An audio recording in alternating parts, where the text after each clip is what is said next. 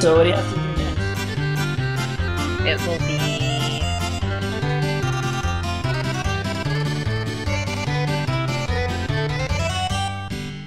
It's called More Than a Feeler.